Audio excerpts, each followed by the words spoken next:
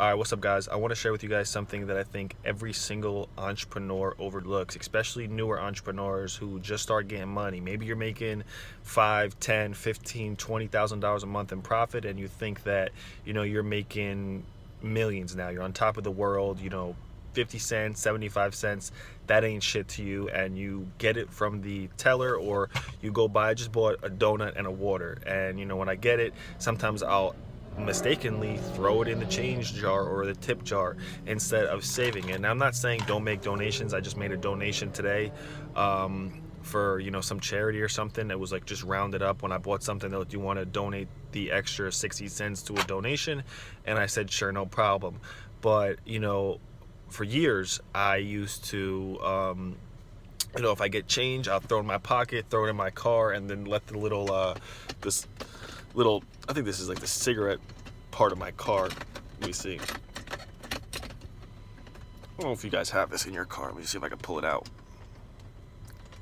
Anyway, it's like this thing right here.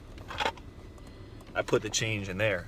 But, I mean, how much change can you really put in there? But if you stack it up and just let the change almost set it and forget it, you'll be amazed how much money you can actually stack up. I mean, if somebody sees a $100 bill on the ground, they'll jump on it. But if they see a penny, they'll walk right past it. And I'm not saying be so frugal that you're scared to spend money, but man, save your change. You literally don't know the power of this. When I was a 18 for my first job i found a big five gallon jug at my job. I worked at a food store. So i found the jug outside. I actually like used to do maintenance and push the carts and stuff like that outside the food store or you know grocery store whatever you want to call it.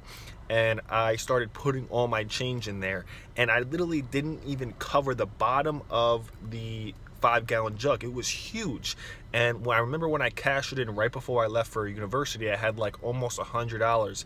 And if you go on uh, YouTube and you type in five gallon jug filled with coins, people end up filling the whole thing up. It takes them years and years and years, and they have tens of thousands of dollars in change. And who knows, you could put that down on a car, on an investment, on a piece of property, on a business model.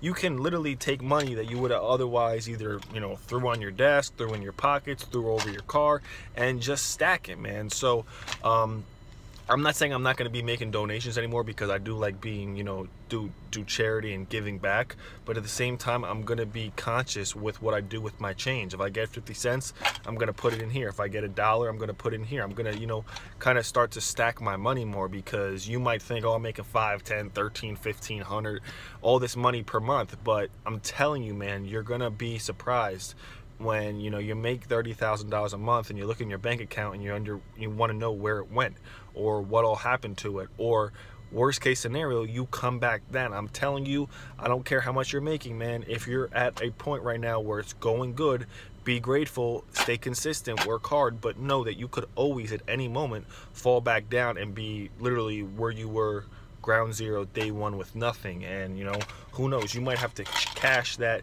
you know jar of coins in, you got four or five thousand, you got a safety net. And plus, maybe you won't come down. Hope you don't come down, but you can make you can have some real money stacked up in here, man. So don't be a fool, man. Don't just throw your change in the garbage. Don't throw it all into the tip tip jar. Um, save it, stack it, and you know, watch in a few years the payoff that you could make of it. Let me know what you guys think. See you guys later. Peace.